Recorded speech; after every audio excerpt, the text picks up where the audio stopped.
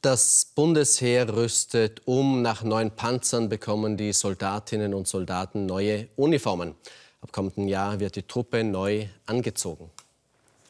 Die neue Bundesheer-Standarduniform wird in Zukunft durch ein Dreifleckenmuster gekennzeichnet sein. Die neuen Uniformen sollen nicht mehr wie die alten Grünen in Spanien, sondern in Österreich hergestellt werden, auch um die österreichische Textilindustrie zu unterstützen. Die Umstellung beginnt nächstes Jahr. Wir machen keinen Unterschied hier bei, der, bei den Aktiven und bei den Milizverbänden, sodass wir in den nächsten drei bis vier Jahren das Erscheinungsbild des österreichischen Bundesheeres von Grün auf Fleckentarnung umstellen können. Die Standarduniform kostet 66 Euro, der Kampfanzug mit nicht entflammbaren Spezialstoff und eingebauten Protektoren in etwa das Doppelte.